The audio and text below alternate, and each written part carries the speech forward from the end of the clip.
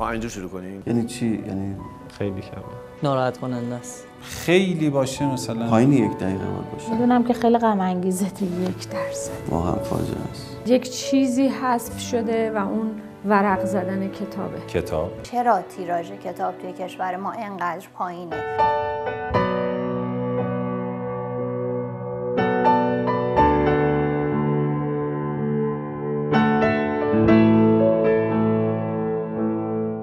چیزی که از کتاب خوندن آید ما میشه شاید با یک فیلم دیدن شاید با یک روزنامه خوندن آید ما نشه.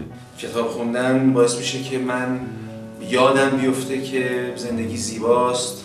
بزرگترها باید شروع بکنن به کتاب خوندن. لذت خوندن کتاب یه لذت دیگه است. کودکی پیش دبستان مهد کودک. بچه ها رو آشنا بکنیم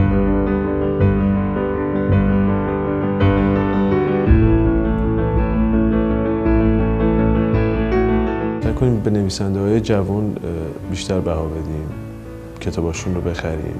اصولا هم کتاب از اون چیزایی که آدم اگه بخونه رمان رمان خوب بخونه خوشش میاد زندگی دیگه. اون آقایی که می‌خواد بره سیگار بخره به جای سیگار بره کتاب بخره. کتاب تنها چیزی که واقعا با دو تا بال ما رو به دنیای فراتر از خودمون می‌بره.